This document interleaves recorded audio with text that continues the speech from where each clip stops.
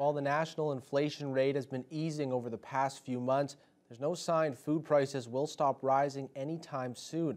The latest stats show since January of last year, food prices have increased by more than 11%, and food banks here in Thunder Bay are noticing a jump in those using their services. Since January of 2022, the RFDA has seen an unprecedented 25% increase in their food delivery service and a 12% bump across the board. Officials say food inflation is also causing many across Thunder Bay to use food banks for the first time.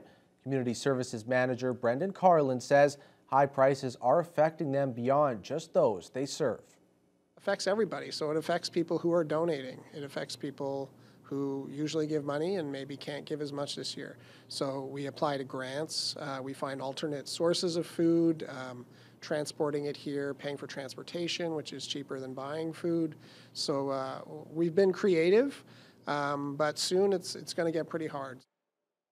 Anyone looking to help out the RFDA can donate food at their main location or food banks across the city.